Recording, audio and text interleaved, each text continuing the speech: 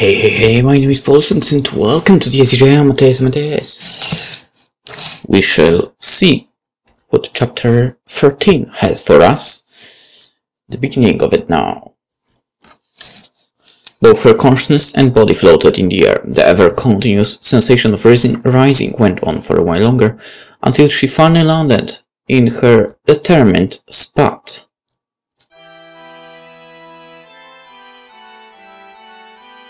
Ah,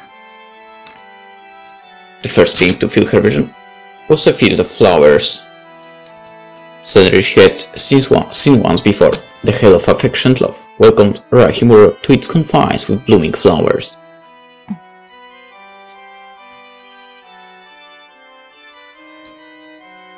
Again. It seemed like the place of her damnation did not change. The brisk atmosphere and the scent of flowers remained the same as before. The light breeze gently caressed her cheeks, and as such she could not keep disappointment away from her heart. Nothing had changed. A picture was worth a thousand words. Rea shook her head, casting the dark thoughts away. Now was not the time for the idle thoughts. Things had changed, and she would prove it. Believing that she was not invited here without reason, she stood up out of her own volition. She took a step on the large ground and looked about the paradise one more time.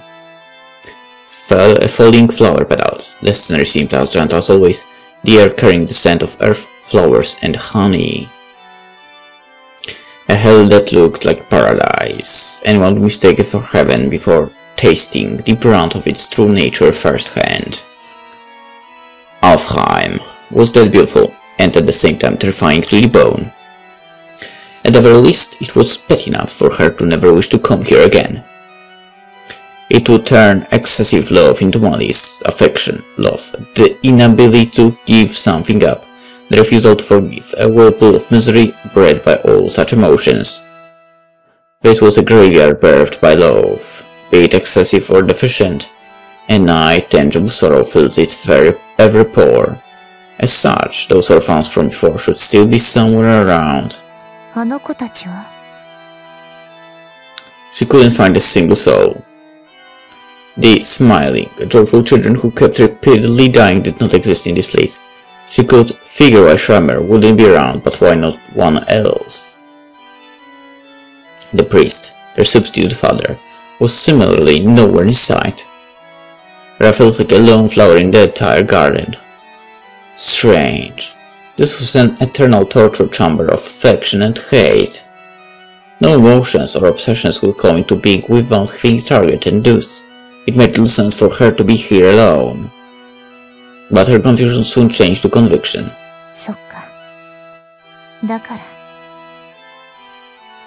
Who did she think uh, of upon entering the castle? Who did she wish to address? Who did she even in mind as she fell into the paradise? There was but one person in her mind, and that was why she found herself here.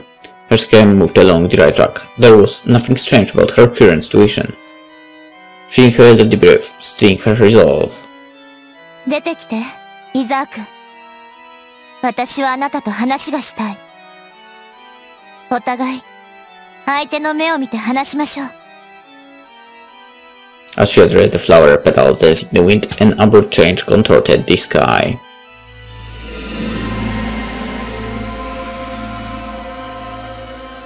The emptiness momentarily ruptured and a young, yet imposing boy emerged from the rift. Beneath his clean clerical garments, his skin was white as milk. There was a certain dignity and eminence to his bearing that did not suit his age. Both his eyes sparkled gold.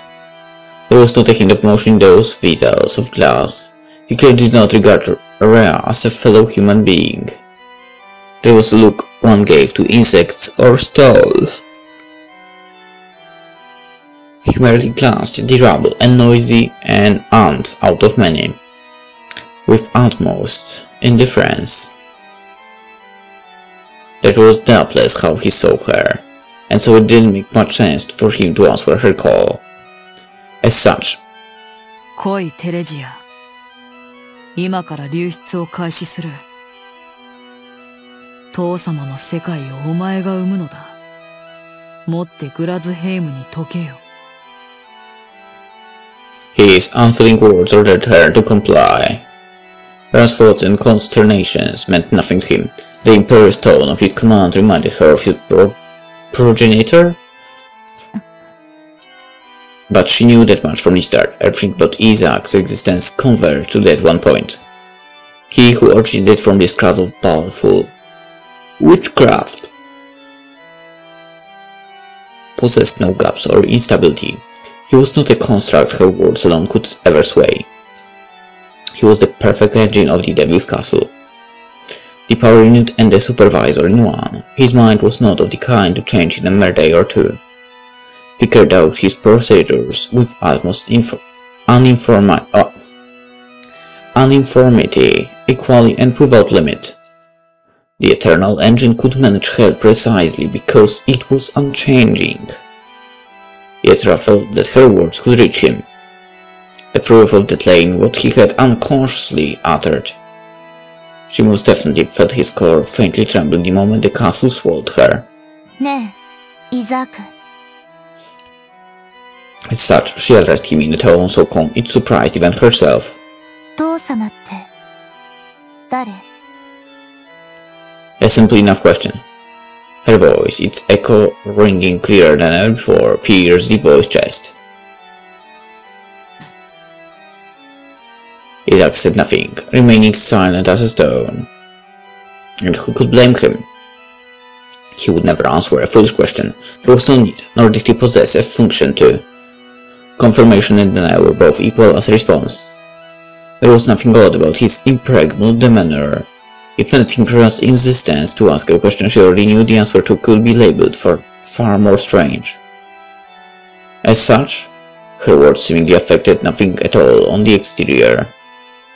The core of the Devil Castle regarded the girl's meaningless words in silence. The answer to that question meant nothing to the two, who were but mere instruments to emanate hell onto the physical realm. Yet what about the interior? Did they not send ripples, no matter how small, along the surface of his heart's serene lake? Who was his father? The answer was obvious. Only one name danced at the tip of his tongue. The mystery that had long shrouded the framework of the Ocean table was no longer much of a secret. The gold confirmed it. Isaak, ein Sonnenkind, was both son and heir to the beast. He no longer had a reason to hesitate to proclaim himself as such. There was nothing hindering him anymore, and yet... 父様って、あの人でしょ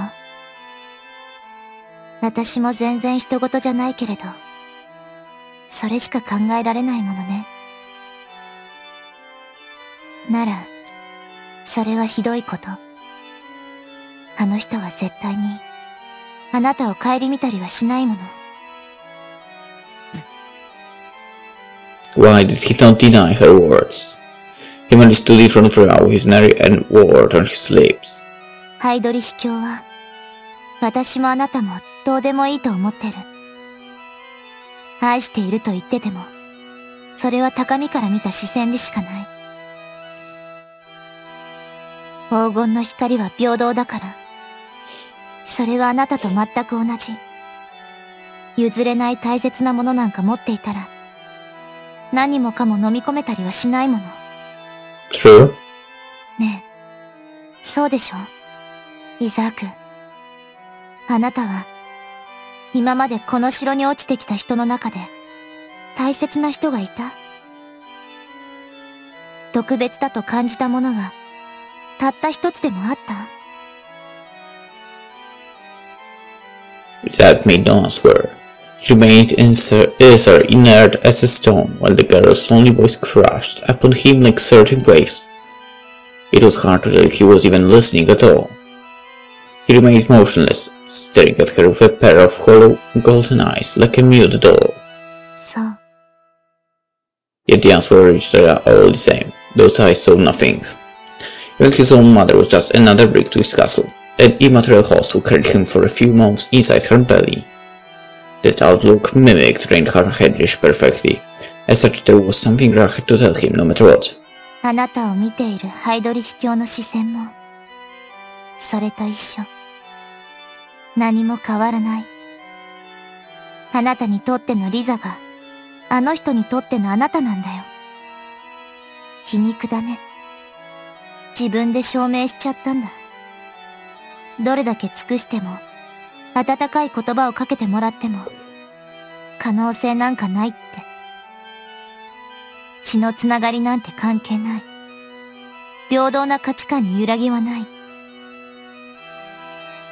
The roles had merely been switched. Much like his son remained unfeeling towards his mother's death, the father felt nothing for his son. He would forever remain a mere gear, a lifeless part of the mechanism. あなたの思想、あなたの認識、それこそが、誰にも愛されない証明なの。Reinhard Heydrich would not give even his son a second glance. He prized and treasured all things in the world with absolute equality. Like father, like son, they sank. rang true indeed. The mind of a devil that failed to find true value in the entire cosmos.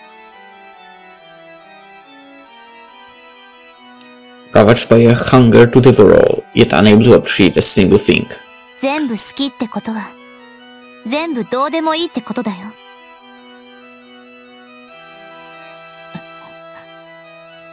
Yet Isaak did not even bat an eye at her words. His golden eyes putting even the flowers in the background to shame with their luster, regarded her in a complete silence. As if asking if that was everything she wished to say.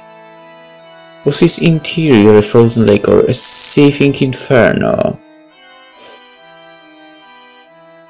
Or could be that he lacked it altogether? With that question left unanswered, he remained passive and silent as the grave. He exhibited no change whatsoever, almost as if waiting for Rea to continue. だからあの人は、ハイドリヒ卿は勝てないよ。勝つのは絶対、藤井君。Halfway! 一番重要で、大切にしなければいけない相手をおろそかにしてるもの。全部同じだから、重要なものへ意識を割り振れない。あなたの声に応えてないから、あの人は全力を出せないんだよ。Why, why, why would you tell him that? He would simply press their own words, driven by an insatiable hunger without ever discovering his limits, unable to even perceive the existence of others. 自分でも知らないその地点へ、彼は一生到達できない。いつまでも飢えたまま、全力を出せない理由に気づかない。Dude, 心臓がなくても自分は動ける。力を出せる。ありえん Broke his silence in response to that most absurd of notions. His condescending voice drifted through the air like mud. It was la- not like the accusations moved him. He, her feelings did not penetrate his being. It was merely the result of him growing confused as to why anyone would spout something so absurd, and his lips parted before he knew it. A conversation came to be between the two. 頭の出来が劣悪だなテレジアお前は単純な比較もできんな What an incredible fool! In that moment his golden eyes gazed upon not an insect but an utter fool. 仮にお前の言葉が真実だとしてだからどうした父様は黄金は無敵だ破れることなどない We'll see about that. We'll see about that. 従前ではない全力を出せぬならば負けるまさかそれこそ無双だ幼稚なざれ言に過ぎんだろう絶対とはな非するものがないからそう呼ばれるのだ An ant could exert all its strength, but that would hardly make it a legendary beast, and no matter how able a bird, it will never fly above the moon. あの方を人の物差しでなぜ測るそれこそ無粋だとまだわからんか So what? ほんの少し撫でただけで皆平服する。誰であろうと例外はない。最初から生息域が違うのだ。 We'll see about that. Perfect and flawless, eternal and absolute. Eh. To even ponder the concept of defeat in the presence of such being went beyond merely foolish. How could she have been so stupid? Isaak's only conclusion was that the girl's mind must have been ravaged by some form of ailment to have her say such things. そこなしとは、そこがないからそう呼ばれるのだ。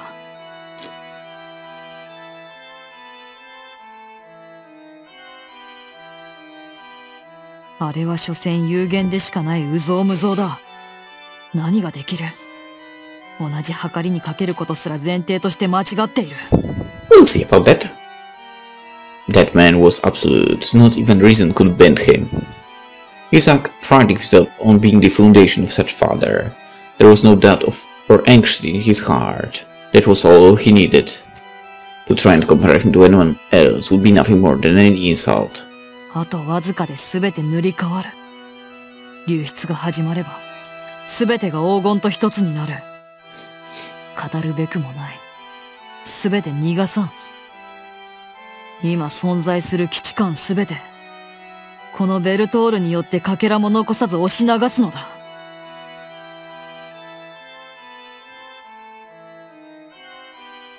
That weather had been long since decided by fate. It was an inevitability, a certainty without doubt. No longer could anyone stop it. Rea found herself momentarily overwhelmed by that delusionless zeal. He was an ally born with an unwavering will, neither heat nor force could bend it, a mechanism fashioned for that sole purpose. He was different from mere earthly metals. He existed on the realm where arguing human laws and feelings had no meaning. It was equivalent to trying to communicate with a being from another dimension with a human language. There was simply no way it could have gotten through to him. As such developments were a secret hope were vanished. Like morning mist, nothing could reach him, she could not upset him. As knowledge she had known beforehand. Out of options, she could be of no use in the end. The conversation had become a mere confirmation of the fact. But one thing he uttered puzzled her. That phrase, for some reason, still lingered in her ears. They would extirpate the old world, and for that end they had to emanate their castle. That fact alone kept her suspicious. The way he phrased it seemed odd, unnatural. Remember, think over those words one more time. He said the world would be painted over. As if he was talking about a picture. 光だ。我らは全てを押し流す。流出とはな、ただエイビヒカイトの最終異界を示すのではない。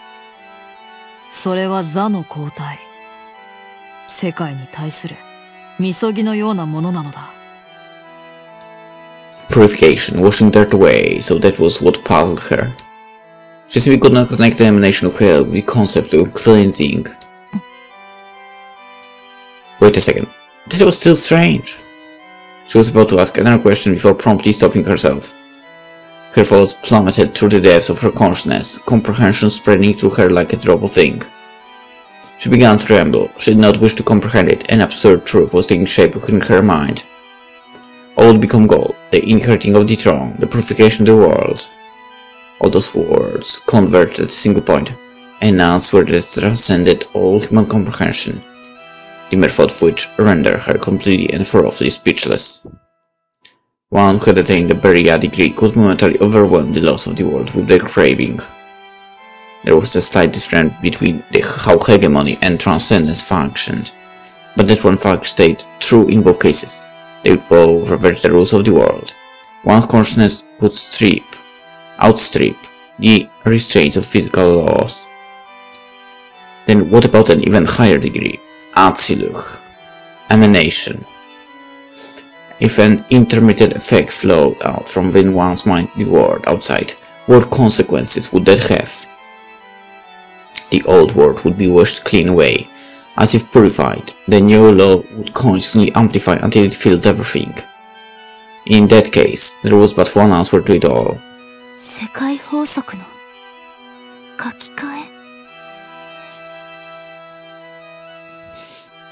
Her conclusion was so colossal in scope that it took all her strength to even put it into words. The other's golden eyes lit up with a condescending glint as if mocking her for taking so long to realize it. She felt lightheaded. Her body trembled so much that Ralph almost felt like it no longer belonged to her. Assimilate the whole world to one's craving. Expand one's own rule throughout the whole cosmos. What the hell was that? When did this become a creation myth? 覚えていないか？言ったはずだぞ。お前たちは断崖の先に答えを求めている。ならば、それを絶対の法則として流れ出させ、旧秩序を塗り替える。一掃して消し去ってしまう。すなわち、代替わりだよ、テレジアン。そのミザへのな。Seeming good reading mind like an open book, the boy answered her unvoiced question, effectively shattering her final hope. She almost felt the voice mocking her, declaring that she could no longer even pray to God. この世界はそういう作りになっている。そして繰り返してきたのだ。幾度も、彼方より、果てもなく。流出へ至った絶対者による世界法則の塗り替え。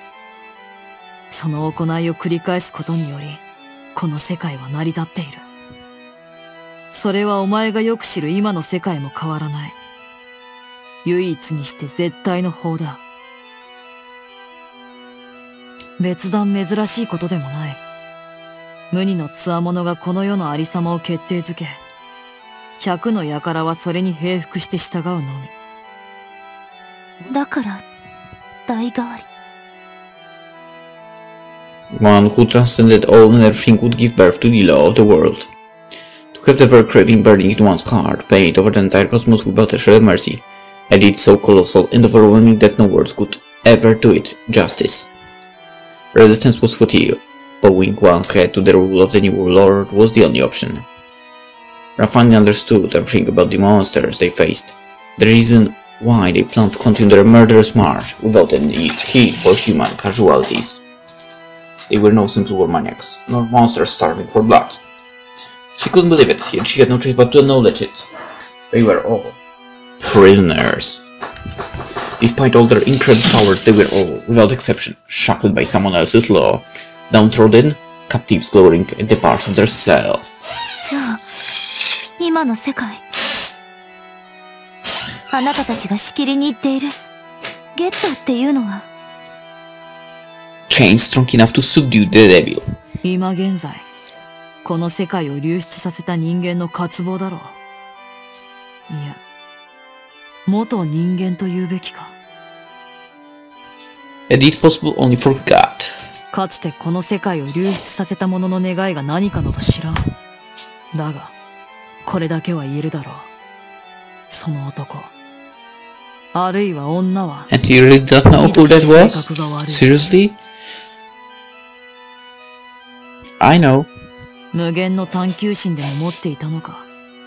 あるいはやり直したい過去でもあったのか。いずれにせよそれにとって、人生は一回で足りなかったのだろう。何度も、そう何度でも回り続けるように、他者を歯車のように見立てて、全く同じ動きを強いている。はあ、英語回帰の始まりだな。そして次なる流出が起こるまで、絶対なる決まり事となり鎮座しているのだ。今、この時でさえ。A tale not unlike the great flood of Noah's time. Only a select few would be saved in the ark, with all others doomed to certain death amidst the merciless waste. 故にそのものが到達するのは流れの中心。そこにある座だ。現世界の象徴として残り続ける。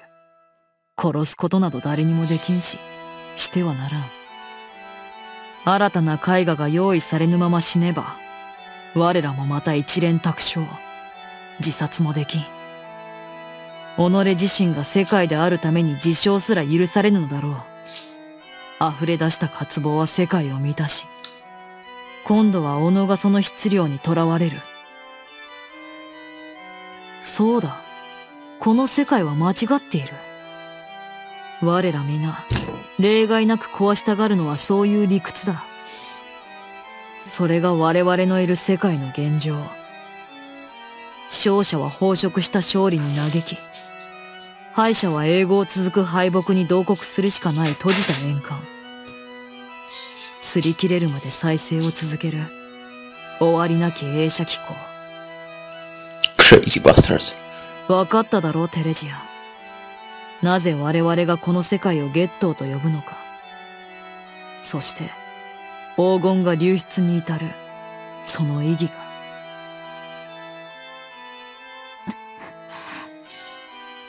She had no reply to throw back at him. They truly were beings far transcending her own insignificant self. Their gazes fixed on matters beyond her meager comprehension. It was only natural that they cared little for sacrificing the lives of a single city. And why should they? Their ceremony meant remaking the entire world. A few lives here and there meant nothing when compared to the scope of their goal. Well, I wouldn't agree that they were meant nothing at all, but whatever.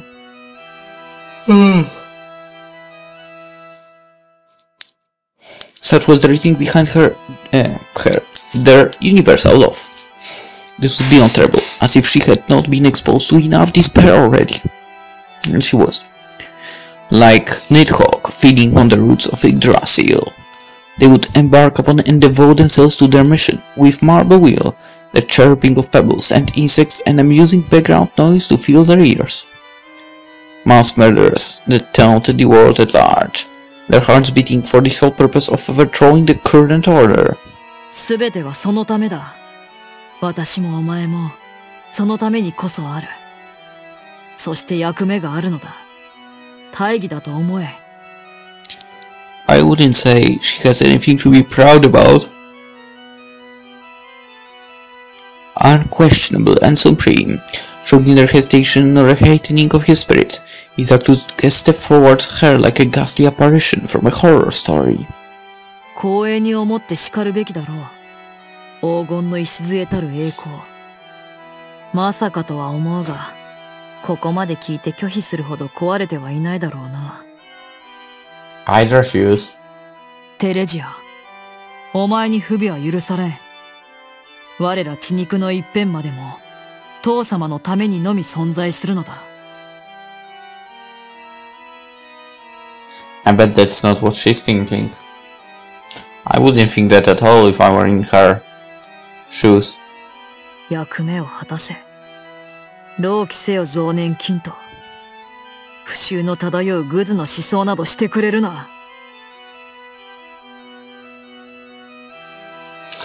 He stood before her now, proclaiming that they would finally become the true heart of their father. They would turn to the mechanisms of the castle, inciting the advent of a calamity that would paint over the cosmos. He declared it as fact, and without a shred of motion to color his tone. Still surprised actually that he he doesn't react at all to the fact to the facts that were revealed before. I thought at least a bit he would be changed. He to, reached out to her. The moment he touched her, Ratu would become no more than a mere the mechanism. We don't know that. Uh, don't, hmm. we don't want that. Rea Himuro would irrevocably turn to a part of the Devil's castle. Don't let it happen, Rea.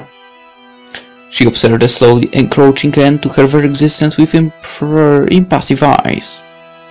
Rea, now is not the time to shut yourself out. You cannot allow this to happen. She wasn't blind to them, nor did she decide to give up, but she wasn't looking for the opportunity to attack. Why not? Rea, you have to do something like that. So please, do it, she remained immobile because she had been too deep in thought. What? She did not resist because she had already made her resolve. Okay? Isaak, Are you retarded? 流出によって世界は塗り替えられる今は基地間で塗りつぶされているからハイドリヒ卿はこれから地獄を流れ出させようとしているんだよね。 His fingers drew ever closer. Accompanied by an affirming silence, her words gained her no time. Only moments remained till her fate would be sealed. They were a hair's breadth away from her skin. Because would swallow her the moment they touched it, and in that moment, じゃあ、ねえ。それって、ハイドリヒ教はどうやって知ったの the words made Isaak's fingers come to a halt. Silence descended upon the two. It seemed as if Rea had cast a magic spell of some sort. This was the first time her words had an effect on Isaac. The resulting silence was not that of affirmation. He lost himself in thought, looking for an answer to the question. He did, had no actual reason to reply to an insect, yet the question still bothered him just the same. After all, it was not really a question but a statement. There was something clearly wrong with the causality of it all. An obvious inquiry, yet he, with his hand still dangling motionless in the air, simply could not find a satisfying answer. The truth and veracity of the emanation he had declared. Why did Reinhard Heydrich know, know of this apotheosis of sorcery? Upon deeper consideration, it was certainly a question worth pondering. For one, it was quite evident he could not have learned it through his own means. During his mortal life, the Golden Beast was an official to the Gestapo, feared among his contemporaries as the Hangman. He was not originally a sorcerer like Malleus. He could not possibly know about emanation. Well, come on, the answer is easy. Come on, the answer is easy, right? Then again, it was him they were talking about. It was possible he could have noticed and figured it out of his own. Ah. It appeared to coincide with everything that happened to him down the road. Could have led him to realize the true meaning of every guide? But then why did he talk of it as a of, of knowledge, and not as something born of conviction? It most certainly seemed like he knew the truth rather than merely suspecting it. As if he had seen it with his own eyes. As if he was counting someone else's words. おかしいよね。知るはずがないんだよ。そんなこと。言い方だって、ちょっと考えたら変だってわかる。さすがのハイドリヒ教も、やらなければできない。軍人さんがおまじないに触れる機会なんて、本当ならあるわけないしね。Even if he could change the world by merely snapping his fingers, nothing would happen if he never thought of doing that. An omnipotent entity, no different from a mountain or a star as long as it remained motionless. Reinhard could not have had that many opportunities to run into witchcraft, as he was busy with his work for the government. He might have absorbed all information known to men like a boundless sponge, but he could not know of something he had never encountered. Oh, I think he he knows now. And how did he come to know of this grand deed? The actual concept filling the world with one's craving. Who told him? Why did he even know the final conclusion of it all? How could anyone convey that information as knowledge? Only those that had been to the end of the world could speak of it. Even if someone figured it out, no one could speak of it as a certain fact. Only they, those that knew with certainty could claim it to be truth. Not as mere speculation, but as a fact regarding emanation. Overwriting the law governing the world. Only someone who had actually carried out such a deed could ever know of it as a fact. There was one such thing, being. The cause of it all had been hiding in their ranks from the beginning. The kindred of the be- beast. The only one to be graced by his genuine smile. It was none other than he who had told everyone about the ghetto, to spare precipitating the birth of the obsidian round table.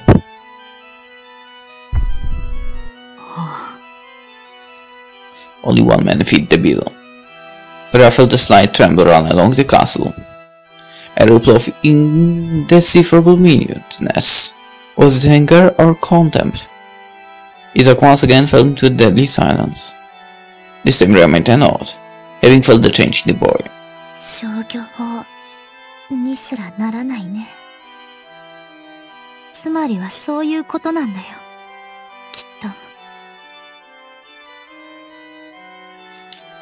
They were all in the palm of Buddha's hand from the very beginning. A giant warship that could only follow a predetermined path. Its personnel were sublime and all its facilities cutting edge. Yet it could not pass a sea that had split apart. And its destination would be upset if the stars in the sky realigned.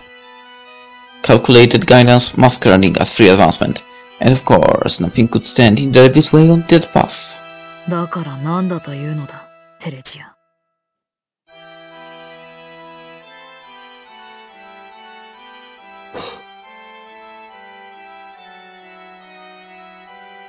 He nonetheless remained impassive despite learning the truth. 結末は変わらん。黄金は非する者なき魔軍の長。旧世界の異物程度。恐れる道理などありはしない。 Oh, I wouldn't be so sure about that. His faith in Gold's eternal luster was absolute. Lord Heydrich was invincible. The conviction of his heir and loyal vassal would never waver on that single point.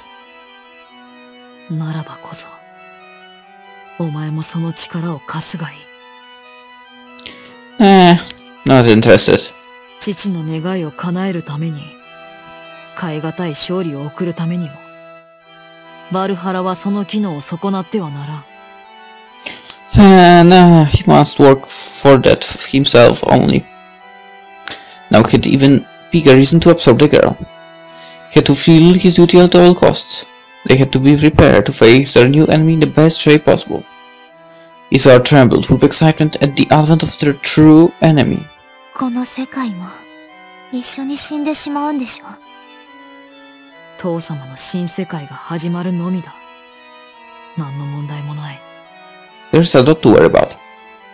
But that's precisely what had to stop, no matter what.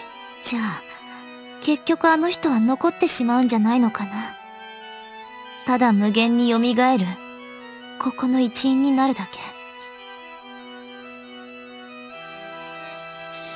Hell was a place for the dead. It would not exclude him. No matter how much of a hindrance his existence was, it would incessantly resur- resurrect in the new world. He would doubtless use the chance to traverse it like Dante with naught but joy in his heart. Their hell was too indiscriminate and allowed for no exceptions. Her statement left Isaak deep in thought. Again, he failed to notice that the very act of pondering adapting was unbefitting the gear of a perfect mechanism. His hope for his father's perfect victory was merely a pretext, used to direct his thanks at the sole being in the world whom he regarded with malice.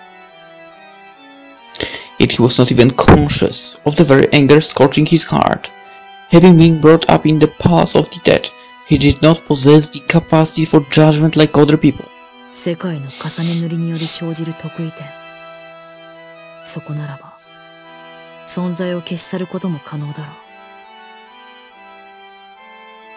He himself as well? 得意点 He nodded. Was the shadow that momentarily flickered inside his pupil's love or hatred? 世界にうがたれた穴の中、 事象へ影響を及ぼさない無色の空間。And coincidentally, hole in the cosmos, center of the whole of the cosmos, is probably in Suwahara City somewhere. 流出同士の重ね塗りによって、世界が耐えきれず破れた先、どこでもない場所ならば、あるいは、全世界の支配者を消滅させ、完全な勝利を体現することも可能だろう。父様のために。 Once the two world clashed, a whole space covered by no laws would momentarily manifest. If they could defeat him there, if they could push the old god out of the entire cosmos, that was the only place where defeating him would not result in the complete destruction of the world. A simple answer, yet the most challenging task indeed, and to accomplish it they first had to.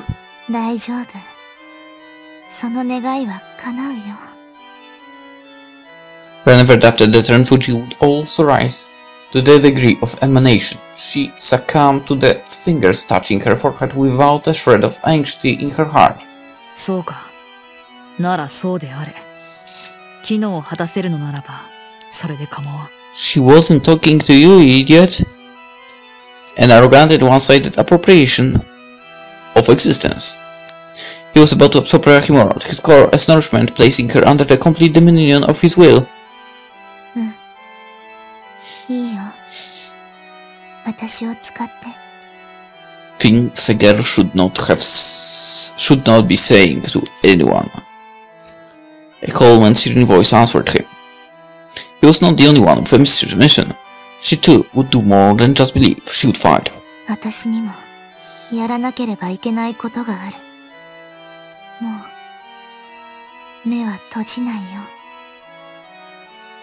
Isaak had a plan, but so did she. They aimed for different goals, but in this one instance, the means to achieve them overlapped. As such, did not mind being taken away to the same battle he fought. The place she needed to reach, where she could be of use. Isaak regarded her in complete silence as her consciousness slowly faded away. His gaze betrayed not a shred of motion. He merely wished for her to be of use, like a tool. And so Rea plunged into the darkness. She met the crucible of countless wailing souls. Then she regained form, conscious of being molded in the core of the castle approaching the shape of Rea Himuro. Unable to move, she was slowly stuffed into it like a puzzle piece. Her limbs became cogs and gears, her heart an engine, her head a data processor. Her throat turned to wires, but not before a final fragment of human speech left it.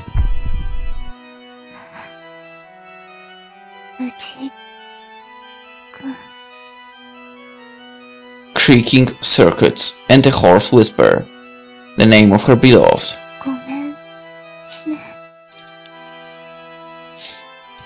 She couldn't utter a word of gratitude. Her faint, barely audible voice seemed to be begging for aid. She tried a bitter smile at her own disgraceful display, but her lips would not move. She sank deeper and deeper into the crucible, her consciousness dissipating in nothingness.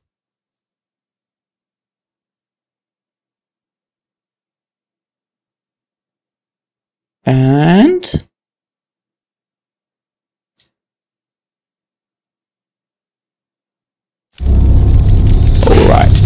chapter 13 Acta est Fabula. We know what's the title of it, so let's end the episode. For now, hope you enjoyed it, and we will be back to where Ren is in the next one. Which I will not actually record the same day because I have a headache. Anywho, for now, hope you enjoyed it. I think I repeated myself right now. Well, no, doesn't matter. Uh, and hopefully I will see you tomorrow as well. Bye bye.